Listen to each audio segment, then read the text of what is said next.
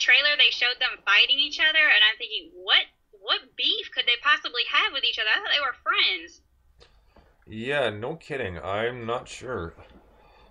so no, who knows? Maybe there's doing it to kind of build up excitement for Arrow. I have no idea. But uh, yeah. So speaking of Flash, uh, the Flash episode uh, was pretty decent, and uh, I I was uh, really liking uh, Cisco. I like I really like his character. Yeah. And uh, because obviously he meets this, runs into this new uh, metahuman, and it's like a guy who was a bully in high school uh, and bullied him around, and uh, he can turn himself into like a, a metal alloy uh, somehow. And uh, just the whole deal when they were obviously they were they were fighting, and of course he broke I don't know how many bones, and he had to recover. And then they started talking about was well, there's got to be some way we can take him down. Then Cisco's well says, yeah, you, you have to be going, uh, you know, uh, how, what's that thing? I'm not sure what the speed was, but 800 something uh, miles an hour, and apparently that's a, that's the speed of sound. And uh, said, but you also, you also have to be like 5.3 miles away in order to hit him and, and knock him down.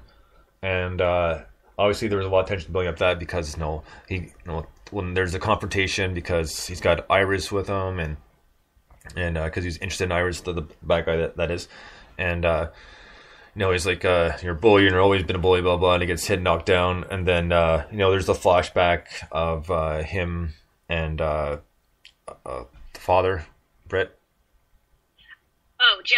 Joe, thank you, of him and Joe saying you know sometimes it's it's not a bad thing to kind of uh, turn and run, and then he runs away, and then of course no, they're they're back to the left, like what's he doing? He's gonna do it. You know, Cisco's like so excited, and then like he's going, he's like he's just watching him. He's like, yeah, I got a supersonic boom punch, baby! Like so excited that he did it. so like, I I am really liking Cisco's character now. I mean that that's that's a good dynamic for for Flash for sure, and. uh of course, all of a sudden now, uh, Iris has got uh, like in the end when she's doing her last blog, and all of a sudden she's got like like thousands and thousands of followers because now she's kind of coined the name the Flash. Because if you remember correct, I remember in the show it was like, well, he's gonna say, well, don't don't call him the Streak or uh, don't call me the Streak. I can't remember whether he's talking to her as a Flash or Barry, but and then she's like, well, how about the Flash? Well, there's a thing. Then all of a sudden, Flash, and there you go. There's a name. Bam! Yeah, I like the way they worked that in there. It was pretty cool. Uh, It was uh, it was very neat. It, it felt very natural as opposed to someone just branding themselves the Flash. Well, exactly, and but the thing is, uh, the the kind of the twister here in this one was obviously Joe was trying to uh, go back through old notes and reopen the file to get uh, Barry's dad out of jail. All of a sudden, that thing that killed Barry's uh, mother came in and took everything away and said, you know, like uh, back off or else he's going to kill Iris. Yes, oh, that was quite the cliffhanger. I felt so bad for Joe. He's such a nice guy, So- and Jesse L. Martin is so amazing in that role. I- He, I, for me, he kind of stands out as opposed to everyone else's performance. There's something a lot more. Um, I don't know. I mean, I don't want to say about just genuine. He just seems like a real guy. So Right. I just my heart went out to him about, about having Iris threatened. and uh, well, yeah. So there, there was that, and so it's still, you know, still not sure. Even though you know the doctor said, well, I left because uh, wife partner died in a car crash, and then I came here to start things over. Nobody knew who I was, and sort of thing. So you know, the the the was the the accelerator wasn't even like a glint in his eye at that time, or or there wasn't enough work to make that happen. So he's trying to figure out how this uh, other guy came about. But I still don't completely trust him. hmm So I kind of still think he is uh uh not uh, I think he is would he be Zoom or would that be Eddie? Um Reverse Flash. reverse flash right yeah so yeah so it, uh, he'd probably be Zoom if anything. I definitely don't trust Harrison. I kind of, I kind of feel like it's so obvious at this point, though, that it might be a red herring, but I'm not completely um, certain on that front. Right. Uh, but I, I do, I, I, I want to believe him, but yeah, at the same time, it's kind of, uh, it's very suspicious. Yeah, so you can see where I'm coming from, but we'll have to see what how that pans out. But it was a good episode. I liked it in general. I liked it. He actually had a challenge this time. No, because the, Yeah. the, the past ones, yeah, they've been cool, but this one was actually challenging. He actually, I mean, it was another one of these things. Besides like running up a building, you know, and he got or running down the building, you got to be running the same speed. If you slow down, then he's gonna smash and die, right? Exactly. And that is something about the science of this week's episode that really didn't make much sense was that earlier in the episode he hit him, uh, he hit this his childhood bully, and then broke all these uh, bones, and then they were going to do a sonic boom, and he's going to do the very same thing, doing it very hard. And how was Barry not going to break everything all over again? They didn't explain to me how he was going to you know, be 100% hitting this guy even harder than he did before and then suffering such catastrophic injuries. So that kind of didn't make a lot of sense. No, fair enough. I can see that. So I mean, I was just I was just more or less excited that he was doing something cool, like you know, just running that fast and just kind of pretty much headbutting him in the stomach. Yeah, that was pretty neat. I do think that making this week's villain someone personal to Barry as opposed to just this outsider meta-human was a good touch. I wish that we would have seen. I, I never felt like Barry really got even with the guy. He revealed himself, which might come back to bite uh, Barry later. But th- this, he didn't really get his com- comeuppance the way that I was hoping he was because they showed him to be a really big jerk. So yeah. Oh, fair enough. But uh, but now he's in that in that special jail they have, right? So. Yes. So we'll, I don't think he's going to be going anywhere for a while. So I don't think they might bring him back in. But at this point, I think the, the character is over and done with for now. Yeah, definitely. I think they're saving them all up to get them all in there, and then someone's going to be making a jailbreak, probably during a power outage or something. Yeah, I can exactly. See them bringing everyone back. Well, one of the convenient times, right? So. exactly. so, well, yeah, both episodes were were. Uh, I mean, the Flash and Arrow were uh, good this week. I mean, like I said, Arrow's trying to starting to pick it up a little bit, which is good because admittedly, was getting getting kind of bored. And uh, I'm glad they're uh, doing a little bit more. But I, like I said, I'm pretty sure we're almost at the end of the flashbacks. So and with Flash, it's still it's still picking up some good ground. So let's see what happens next week and see if they develop any more on who this mystery character is that uh, threatened to kill kill Iris if Joe doesn't back off. So looking forward to that. Me too. Okay, I'm just I'm just making sure you're still there since we had a few, few issues earlier because there's that dead was like, uh, you still there? Hello. is this thing on?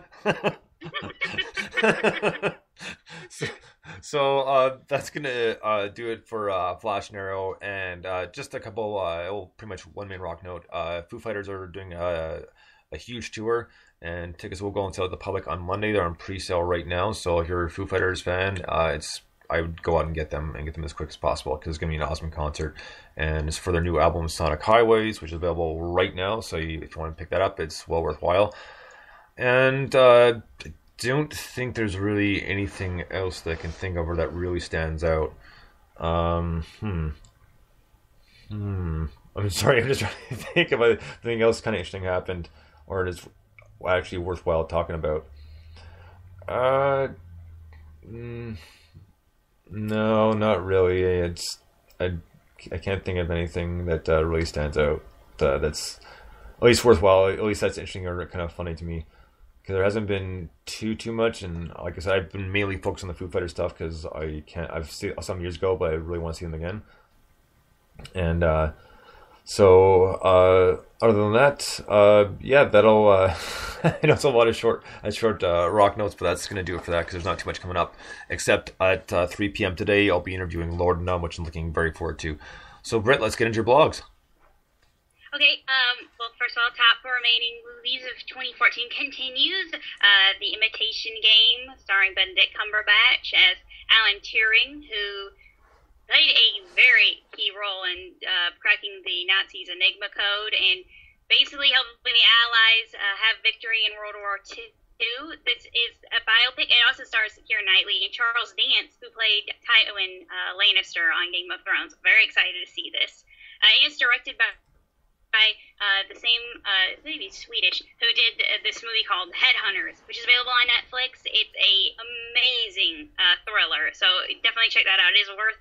I don't know. Some people may have problems with subtitles, but I and I because there's so much action, I do wish you could maybe hear it a little, you know, hear an audio track version of it. But Right. it, I would highly recommend that movie. Have you seen it? I have not. No. Okay, it, I won't want to give too much away, but it is a very good movie. They're planning an American remake. Uh, I don't know where that's at right now, but I'm very excited to see this uh, movie. I think it's going to be really good, and it's garnering a lot of early awards buzz. Um, and what was the other? I'm sorry, I gotta, I gotta, I got so much. I got to do my list. um, and then uh, Foxcatcher, starring Steve Carell. I think I might have talked about this a little bit on another podcast, but basically, Steve Carell plays John DuPont, who uh, basically um, it's a true crime story. That's what I can tell you. And it, uh, the Wrestling Brothers, Mark and David Schultz, he was their uh, sponsor in the USA Wrestling. They were Olympic wrestlers, and things take a very uh, lethal turn. I'll say that. Okay. Uh, Steve Carell is getting a lot of buzz for this performance. People are saying that he is a lock for the Supporting Actor Academy Award. Uh, Steve Carell hasn't made a decent movie since Staying in Real Life, so I think it's just a triumph for him to be a part of a decent film. what about Forty Year Old Virgin? ah, that was good. Was that before or after Dan in Real Life? Oh, I you know I think it might have been before. Okay, well he did he did do that one, and he did do Dan in Real Life, and then after that he made uh, Date Night, the which is horrible, and then Crazy Stupid Love, which is uh, probably one of the worst movies I've ever seen. Period. but obviously the worst, the worst of the worst is the worst. Dinner for Schmucks. Yeah, I. That man owes me. I, I I actually never saw Dinner for Schmucks, and I, just, I just still kind of want to though.